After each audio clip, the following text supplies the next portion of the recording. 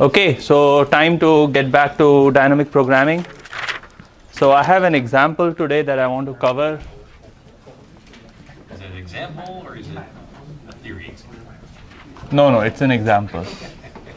Like a real example.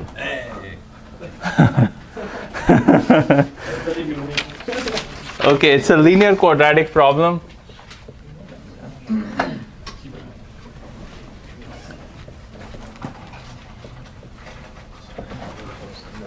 So the problem is as follows. There is a material with initial temperature x naught and then it goes through a furnace uh, with temperature u naught. Then its temperature is x1 then it goes through another furnace where the temperature is u1 and then it has a final temperature x2 so this is my furnace 1 this is my furnace 2 and the temperature evolution is x1 equals to 1 minus a x naught plus u naught. X2 equals to 1 minus a x1 plus a u1 okay so a gets multiplied to u naught as well as a gets multiplied to u1 and my running cost is g0 x0 u0 equals to u0 square g1 x1 u1 equals to u1 square and the terminal cost g3 g2 of x2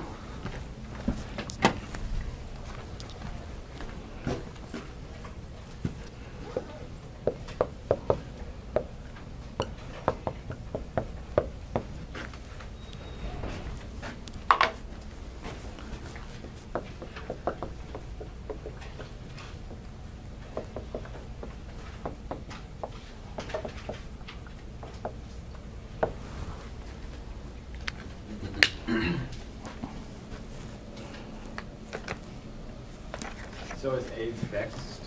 uh, a is everything is scalar so this a is a constant and it's a But scalar we can't change, okay. yeah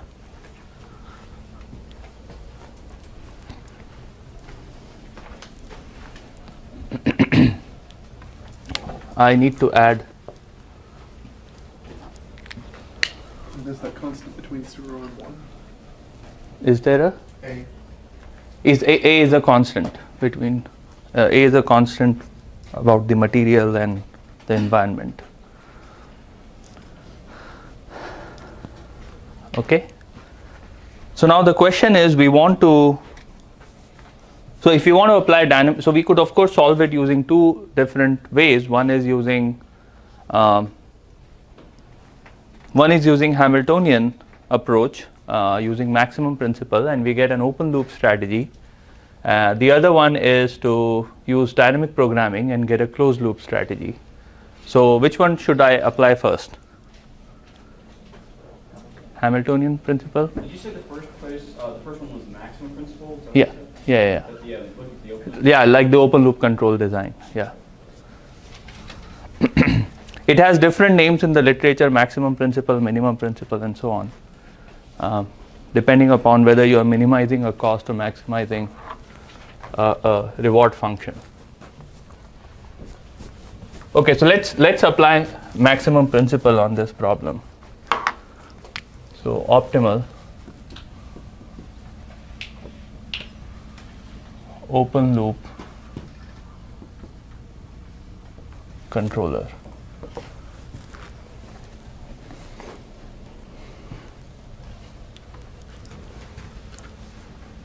So first of all, uh, the expressions where P Pt, uh, which in this case would be P2,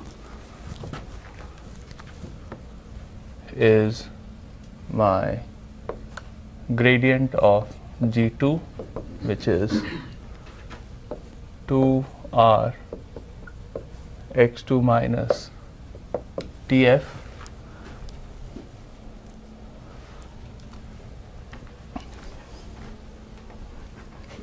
Okay, so my H of 1 is P2 transpose F1 plus G1, which is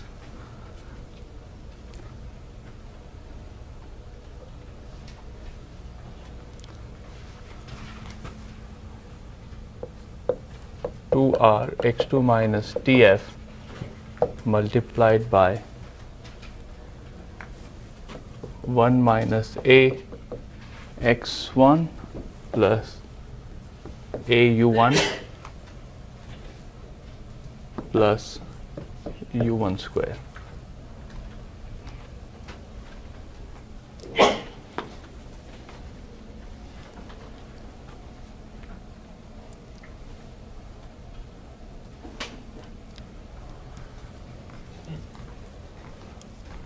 Okay, so x2 here also depends on u1.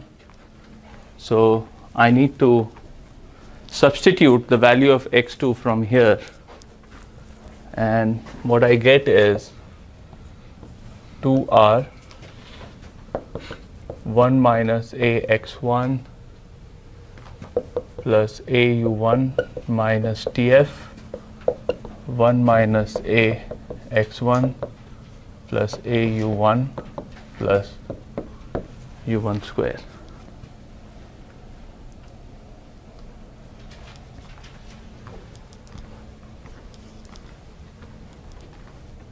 Okay, this is a quadratic function of u1. Now, why is there no need to uh, go all the way back to x naught in this case? So in this, okay, so that's because we will take the derivative with respect to u1. We want to minimize the Hamiltonian with respect to u1. And in order to do that, all we need to know is what all variables depend on u1. So x2 depends on u1, u1 of course depends on u1, and this u1 depends on u1. Uh, x1 is independent of u1. It's dependent on u0, but otherwise it's independent of u1. So we don't have to go all the way to x0.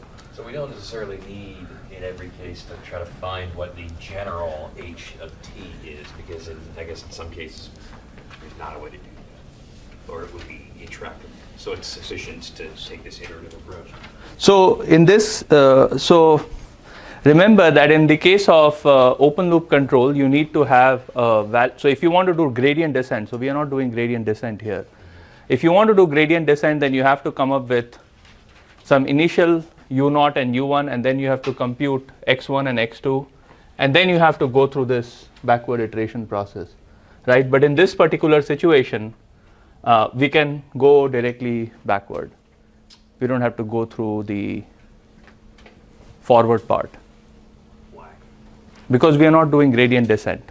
Okay, uh, we will we will we will see what form of solution we get.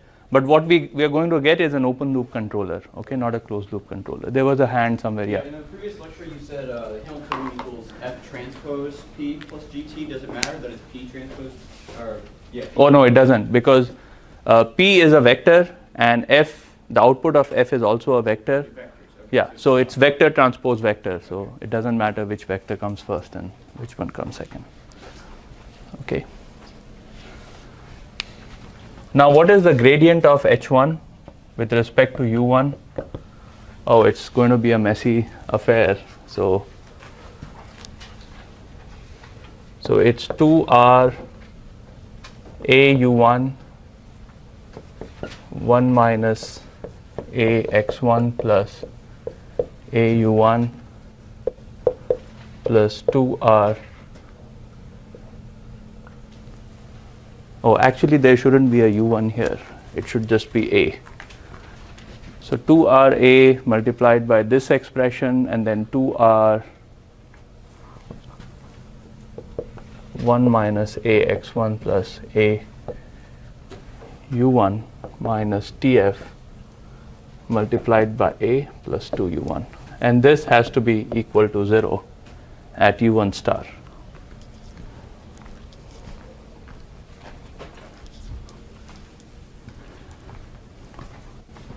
Let me do this later on. So at u1 star we get gradient of u1 h1 equal to 0. This is at x1 star p1 p2 star u1 star.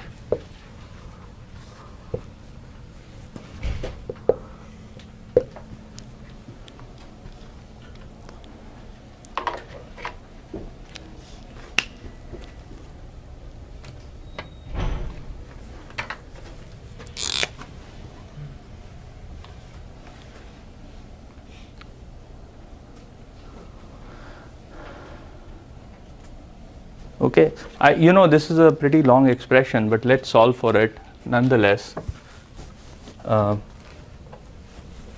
just so we get some practice. I know it's kind of tedious, but it has to be done. Okay, so I need to collect all the terms involving u1 together. So I have 2ra square plus 2ra square plus 2 u1 plus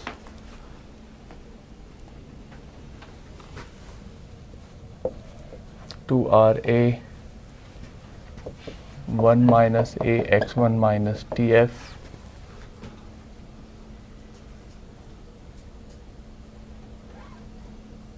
one minus A x one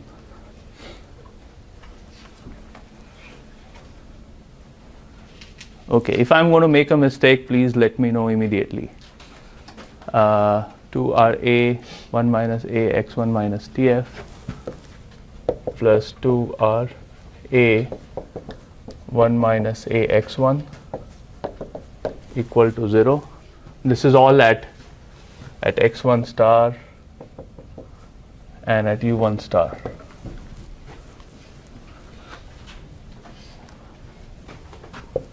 this implies that u1 star is equal to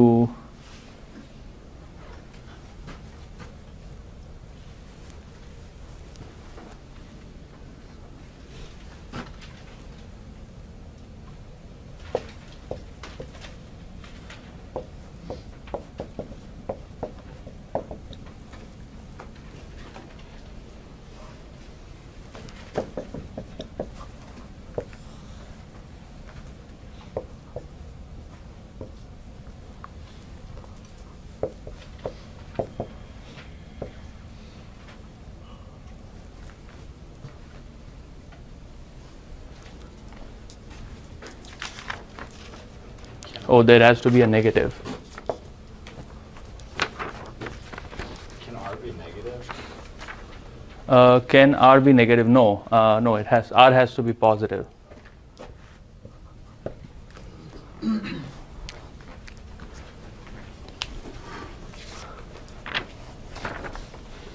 So we, I guess the assumption of the maximum principle is that we basically start on the optimal path and we don't leave from it. We don't yes yes yes yes. Yes. So by x1 star yes you are you're you're right in saying that this x1 star indicates that you are on the optimal trajectory and you haven't deviated in the past.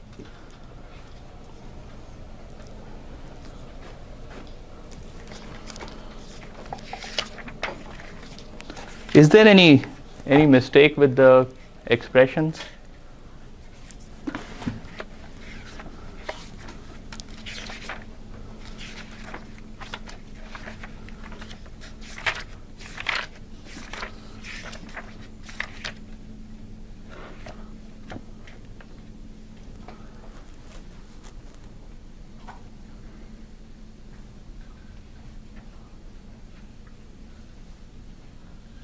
okay so I have P2 transpose F1 which is fine plus U1 which is also okay.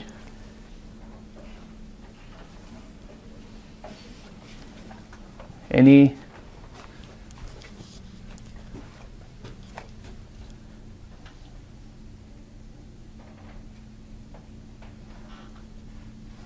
okay so let's uh, so this is the expression for u1 star in terms of x1 star. So if you haven't deviated from the trajectory, this is what u1 star is going to look like. And we can go through the same step. So what else is left? Okay, I need to find p1.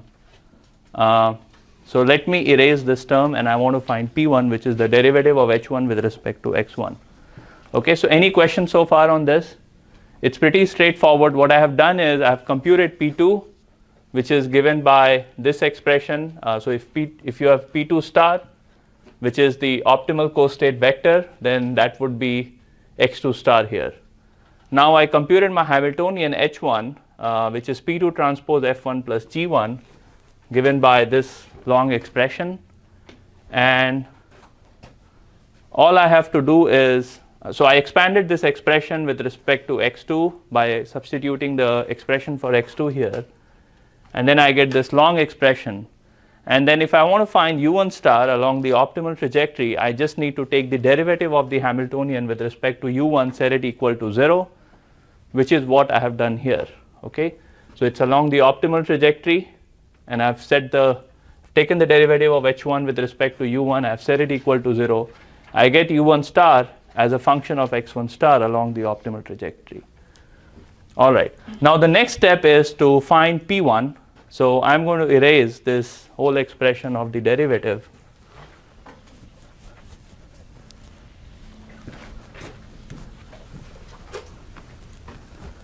and now I want to compute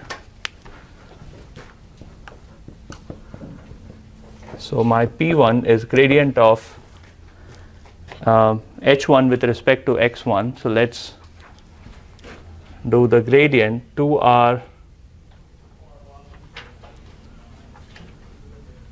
2R 1 minus A 1 minus A x1 plus AU1 plus 2R 1 minus a 1 minus a x1 plus a u1 minus tf plus 0.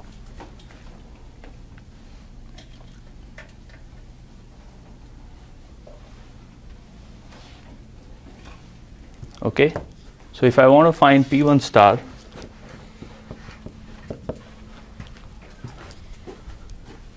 if I want to find P1 star, I just need to substitute x1 star here, u1 star from there, x1 star, and then u1 star from there, and I get some very long expression of x1 star.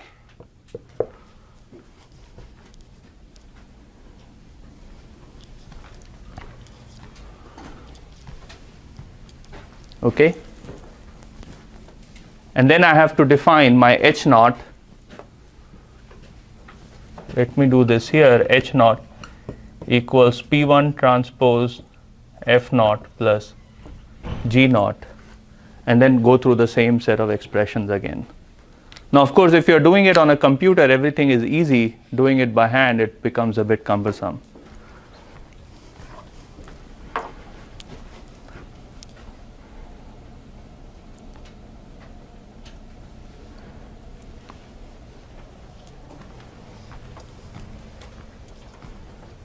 Okay, is that clear?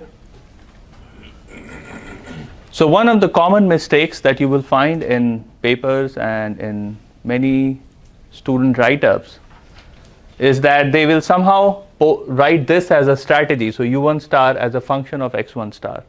Okay, but that's not the case.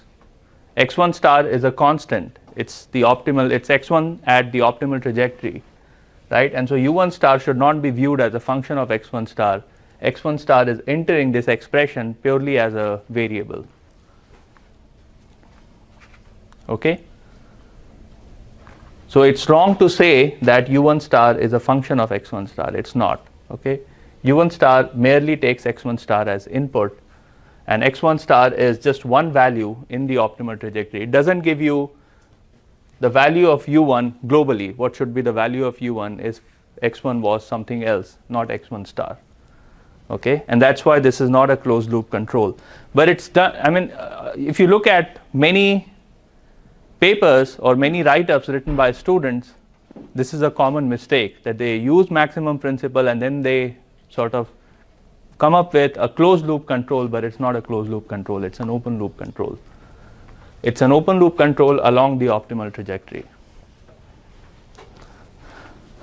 Okay, is that clear? Is the distinction clear? Yes. So if x1 star took x naught star as an input, would it then be a closed loop control? Uh, so, so x naught is given. X naught is not something that you pick. So if it was, if u t star took u x of t minus 1 star as an input, No, no. it won't be. You are essentially using the traject- the optimal trajectory information in order to compute u1 star. Okay. Um, so remember that this x1 could be anywhere on the real line. Okay. Um, and this x1 star is a specific point on the real line. So you're not getting u1 star if x1 were somewhere other than x1 star. You see what I'm saying? No. okay. So U1 star uh, is a function of TF and nothing else? It's a function, yeah, you can probably view it as a function of, will you be able to view it as a function of TF? Because TF is also entering this equation as a constant, not really a variable. Remember, there is, there is, so the closed loop control is a function of the current state. Okay? So U2, so U1 as a function of X1, no matter where X1 is, not X1 star. Okay? So,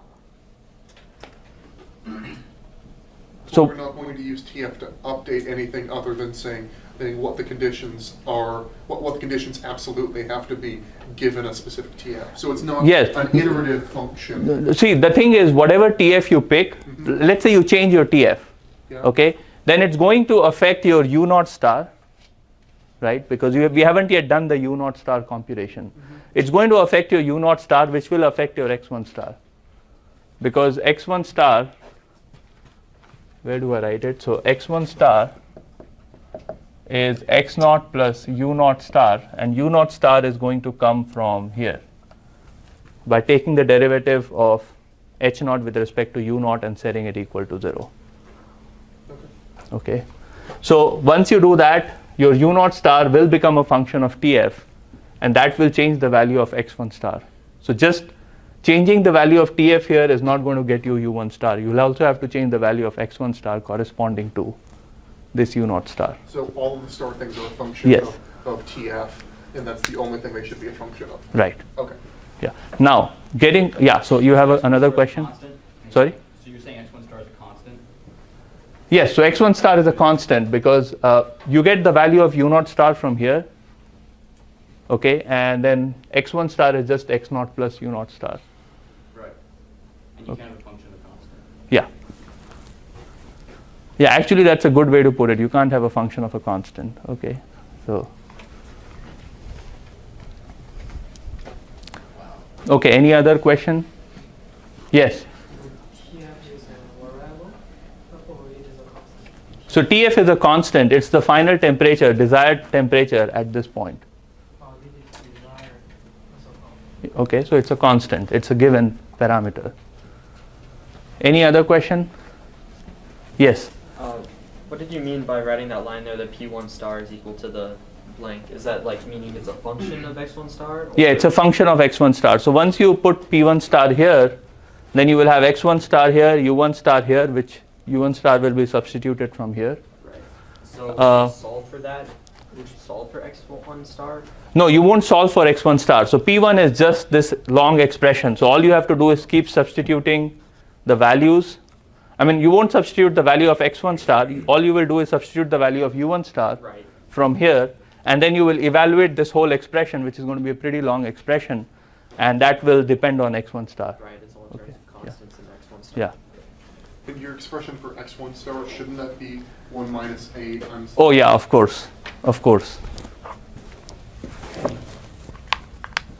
1 minus a x naught plus a u naught star and this u naught star is going to come from here. Yeah, that's right. Okay, is that clear? So if you had to implement a gradient descent, uh,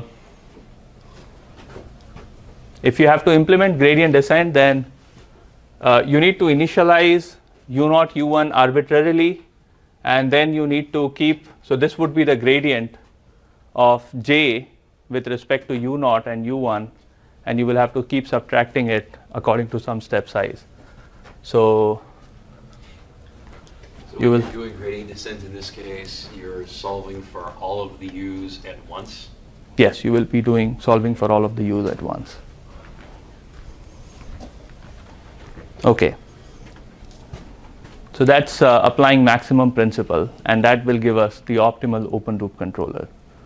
Now, the goal is to compute the optimal closed loop controller. So that will take into account the state information, and then based on that, take appropriate action.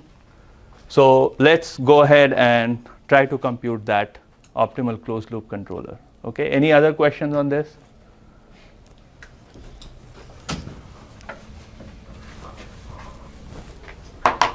Optimal closed loop controller, which is known as policy, which is gamma naught star as a function of x naught to u naught, and gamma 1 star as a function of x1 to u1.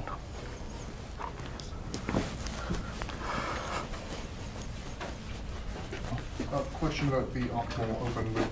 Yes. Well, well, before we move on, uh, next week when we have the exam, Yes. um, is there going to be both optimal open and closed loop on there, or are you just going to pick one? uh, I'll just going, I'm just going to pick one. Okay. Uh, but you need to learn both of them. Oh, yeah, I'm, I'm not asking you which one. It's just an expectation for how, how Yeah. the exam's going to be. It's just going to be like midterm one, you have to write less and think more. Okay. Okay. Yes. Would you please explain why that is the open loop controller? Okay, why is this an open loop X control? is, Oh, just a constant, right? Yes, x1 star is just a constant. Yeah, oh, and then why is it open loop controller? Uh, because u1 star is just a number. Okay, it's not a function of the current state. It's not a function of x1. Okay, it's just a number. Because this is a number, this is a number.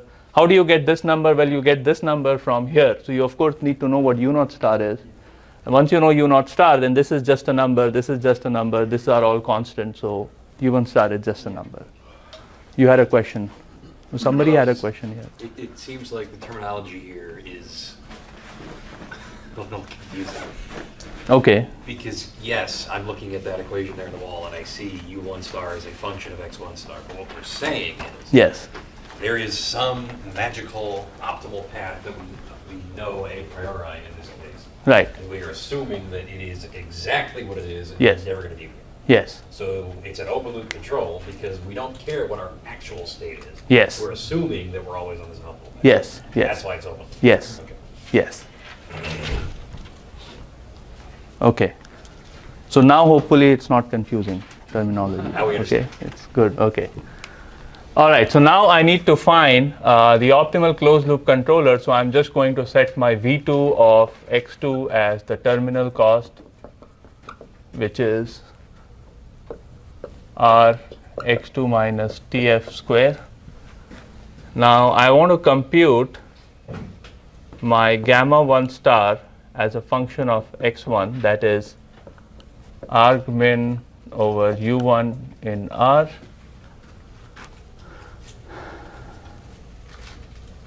my g1 plus v2 which is argmin u1 in R R x2 minus let me write x2 as a function of x1 so 1 minus a x1 plus a u1 minus tf square plus so plus u1 square.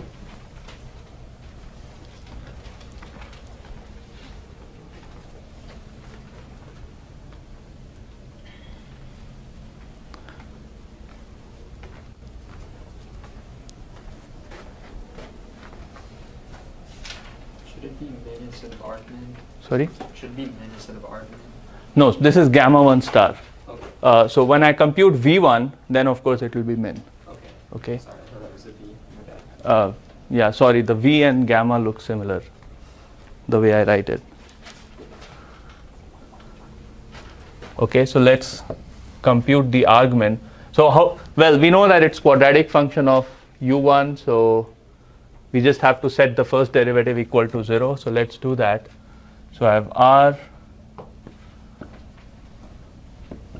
1 minus a x1 plus a u1 minus tf multiplied by a plus 2 u1 equal to 0.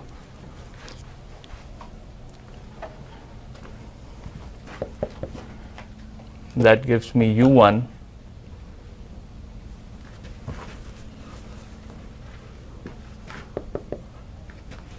let me write it as u1 star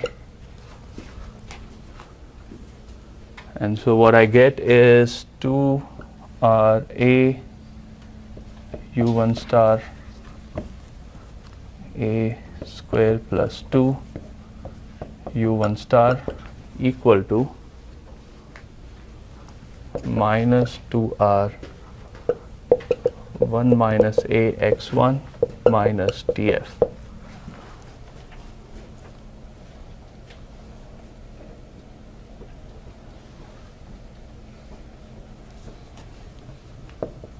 This implies gamma 1 star x1 is equal to minus 2r 1 minus a x1 minus tf over 2r a square plus 2.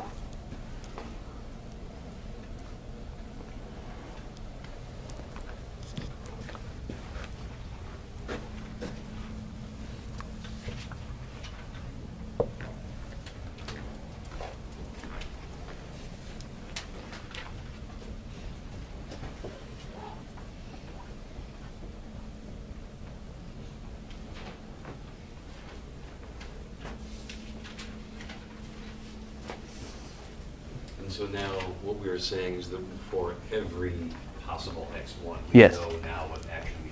Yes. Okay, and this x1 is whatever the current state is. Plug it in here and you get what the optimal control action is going to be.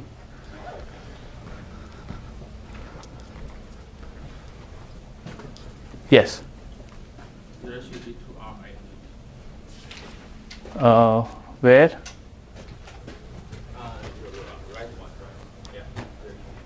Oh, yes. Thank you. Yes, there should be an A here.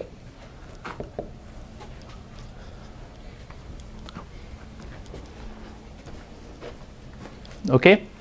So now I have computed gamma 1 star x1, uh, gamma star, gamma star, gamma 1 star as a function of x1. Uh, this is a closed loop controller because no matter what x1 is, this is the optimal policy. Uh, Sorry, this is once you evaluate this expression, that's the optimal control action that you need to take. Okay. Uh, so this gives us a closed loop controller. Now the goal is to substitute this value here to find the min. So let me do that.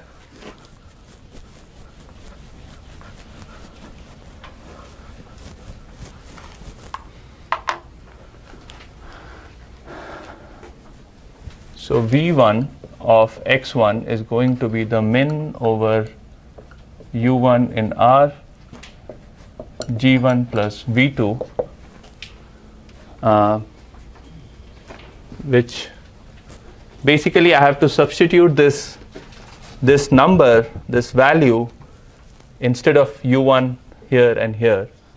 So I'm going to get the following expression. This is r 1 minus a x1 minus tf square over 1 plus r a square.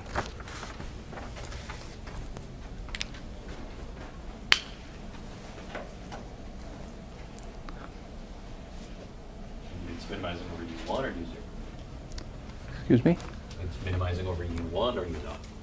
u1 u1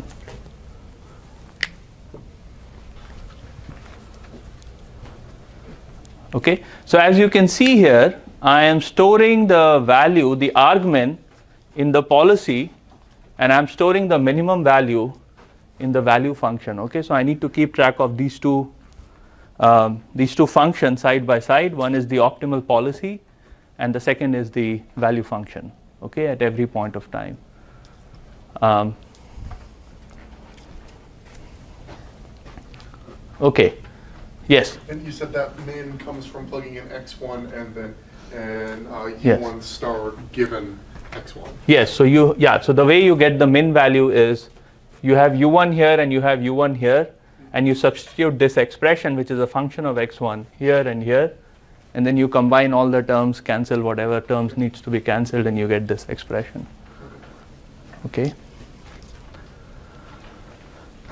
Now we need to find gamma 0 star as a function of x naught star. Okay. So what should we do? I'm going to erase this part.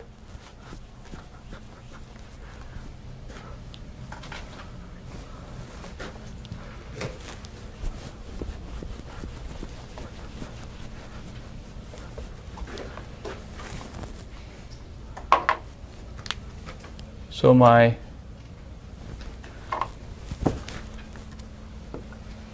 gamma 0 star as a function of x naught is argmin over u naught in R. I have g naught plus v1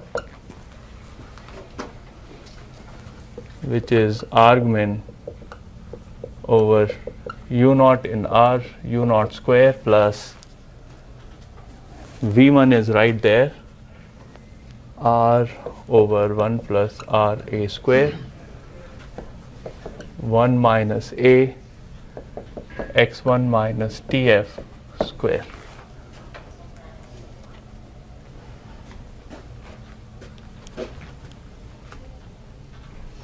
And this x1 is equal to 1 minus a x naught plus a u naught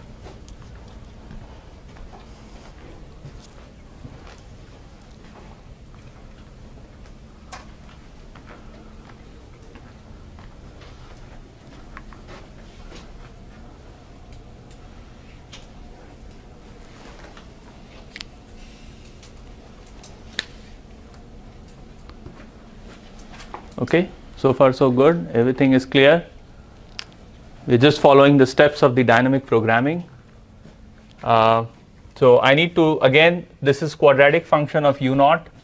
I just have to take the first derivative and set it equal to 0 so 2 u naught star plus 2 r over 1 plus r a square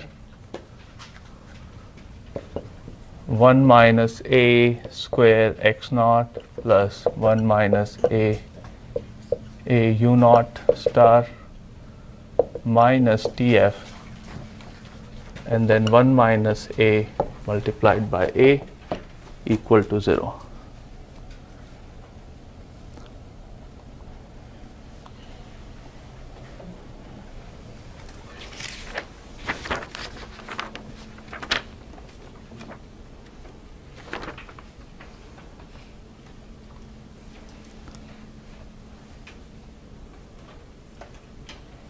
Okay, is this clear?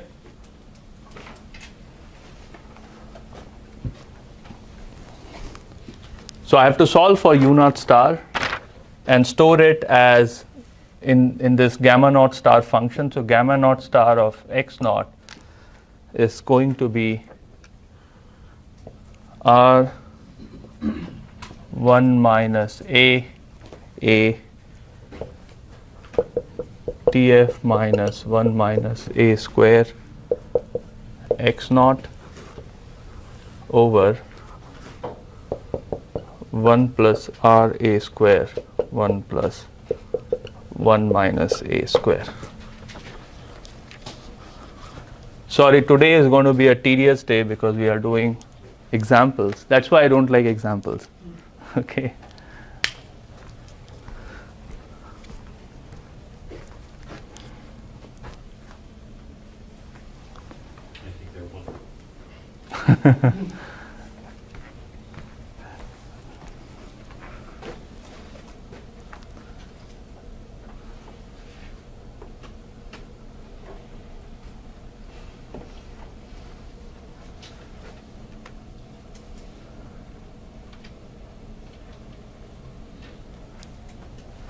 Okay, so no matter what the value of x naught is, I get the optimal action that I need to take by plugging in the value of x naught in this particular function. Okay, so that's the closed loop controller. I can compute v naught of x naught as min of u naught in R g naught plus v1. Okay, and it will be some very big expression. We don't really have a need of that, then. We don't need it, yeah. We don't need it for sure, but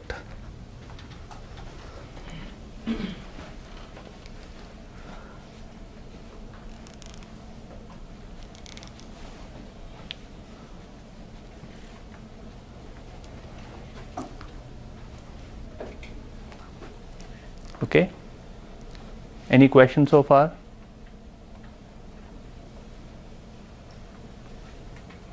No? So as you can see, if uh, so in this particular problem, since the cost function was quadratic, we could always take the first derivative, we could compute, take all the terms involving u naught together, take all the terms involving not involving u naught on the other side, get the expression for u naught and u1. Okay, but if the cost were nonlinear, not necessarily quadratic, or if the state transition equation was nonlinear and not linear, then doing this uh, whole approach will be will not be possible. So we cannot do it by hand. Okay, we'll have to employ computers to do the, do it for us to find this argmin and this min value, which means we need to store the value the value function and the policy function, the optimal policy, either in the form of a table, okay, so if x naught is this, this is what we should do. If x, x naught is this, then this is what we should do and all that. Either we have to do that or uh, one of the other ways to do it is to use what is known as function approximators. Okay. Um, the idea of using function approximator is that I know that my gamma naught star is going to be nonlinear. I mean, in this case, it is linear, of course but in the general case it could be nonlinear in in which case uh, we will say that okay let's assume that gamma naught star is a polynomial of order n and then we just need to fit the based on whatever uh, optimal policy we have found we need to fit the polynomial so that it works reasonably well in the range where the operations will be performed. Okay? And that basically in increases the complexity of dynamic programming multifold. Okay? Um, it's really becoming i mean for complicated problems dynamic programming is just too cumbersome. Okay? It's very difficult to get closed form expressions you'll have to use computers you will have to create tables you will have to maybe approximate or uh, do some sort of regression to approximate a function uh, and so on. And you have to do not only for the policy, but you also have to do for the value function. And then once you propagate the value function backwards, you introduce errors in your computation at every point of time. So it's just something that you have to do. Uh, so what's the way out? So very recently, people have figured out that neural networks are good function approximators. So they are using neural networks to approximate policy and they are using neural networks to approximate the value function. And the result of that is that it turns out that neural networks are really very good function approximators. Um, I mean, we know theoretically why, but we don't uh, quite know how the structure works. Uh, but it's, it, it has allowed people to play games like chess and AlphaGo Zero, uh, sorry, AlphaGo no, the game of Go, AlphaGo is the name of the algorithm. So the game of Go and some of these very nice robotic uh, manipulation task, people have been able to do that now because they recognize that neural networks can be used as function approximators here and here, and they turn out to do a very good job. Okay, and this field is um, known as deep learning, right? So you might have read some news about deep learning can do this, deep learning can do that. And the reason why deep learning can do this and that is because they just happen to be very good function approximators for tasks like these. Okay? All right. The other thing that I want to note is the issue of time consistency, which uh, we haven't talked about, but there is an example. So there is a problem in your assignment that talks about time consistency. So, so I want to introduce the notion of time consistency, but I won't go too deeply into it. So you have weakly time consistent uh, policy which implies or which is defined as if you or if the system is on optimal trajectory if the system is at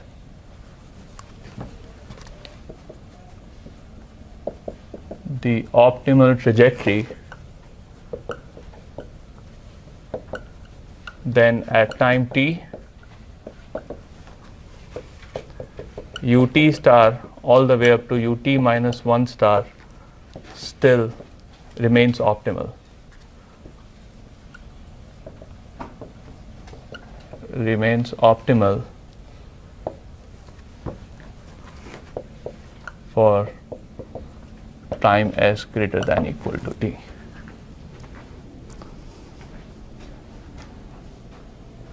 You didn't use an S in that statement. Sorry? You have the range from T to capital T minus one, there isn't an S and anywhere. The, so, so we- I'm looking at the problem moving. So I'm looking, so I'm standing at time t. I know that I've been on optimal trajectory so far, and I'm looking at the future actions that I need to take. And it turns out that whatever you computed using the maximum principle, whatever the open loop trajectory you have computed, remains optimal for all the time periods henceforth. Okay?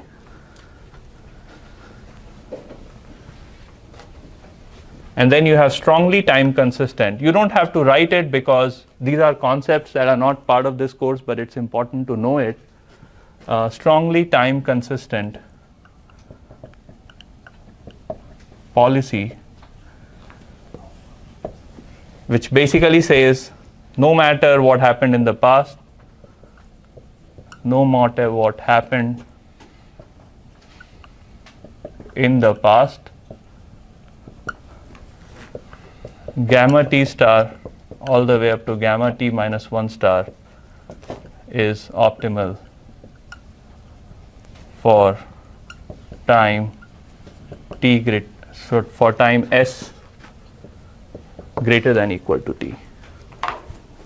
Okay? So what's the notion of this time consistency? Well i am uh, so what's the reason of studying time consistency I have a control system, okay. Um, I use one of these methods to solve my problem, compute the optimal actions that I need to take over the uh, over a decision horizon of length t. The question is that now that I have acted in the past and I am standing at time t, I have, I have a state xt what I have computed earlier still remains the optimal still remains the optimal solution or not for the rest of the decision problem. Okay, that's an important. So that's an important aspect of a dynamic optimization problem because, so what's the reason? You have acted in the past, you might have some new information, and the question is because now that you have new information, should you revise your optimal solution or not? Okay. Should you revise the optimal solution or not? So I have three minutes, so I'll give you an example. Uh, and this is the this is the reason why I've given you this uh, this assignment problem 4 in the assignment. Let's say my policy is I have a cake in front of me, and my policy is I want to eat this cake now, and then tomorrow morning I'm going to hit the gym, I'm going to do two hour long workout. Okay, so that's my policy. I'm going to eat the cake now, and I'll do the gym for two hours tomorrow. So I eat the cake now because I executed my policy, and then I wake up tomorrow morning, oh, I'm tired, this and that, I have to go do optimization homework or whatever. okay? let's let's skip the gym today. Okay? So what has happened? New information has come. I mean, whatever, I don't know what will change between today and tomorrow, but anyway, some new information arrived. You wake up in the morning and you try to look for an optimal solution from that time onwards, and it turns out going to the gym is not an optimal policy at that time. Okay? Doing the optimization homework turned out to be the optimal policy, which is also a good policy. okay? Uh, so in this case, what has happened is you solve the optimization problem at time zero, okay, and then time one arrived, and it turns out that what you solved at the time zero doesn't seem to be optimal at this point of time, okay. And this is an issue of human behavior, human decision making. It's not an issue of machine decision making. Machines always remain time consistent, but humans are not time consistent. They don't make time consistent decisions, and that's what that example tries to. Uh, tries to um, exemplify. Okay, so you will you will solve the problem and you will see that the human decision maker doesn't have a time consistent policy. So what's an example of something that is weakly time consistent but not strongly time consistent? So whatever result you get from maximum principle is weakly time consistent. So let's say there is a something happened in the furnace.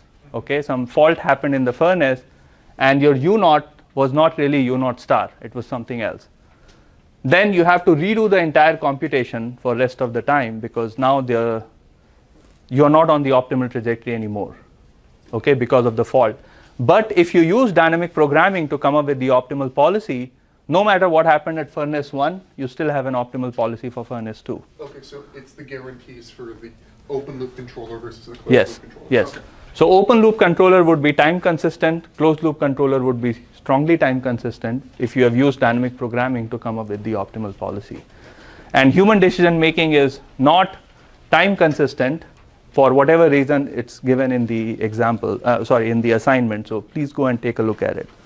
All right. Thank you very much. Uh, i'll see you guys next week. Have a good thanksgiving break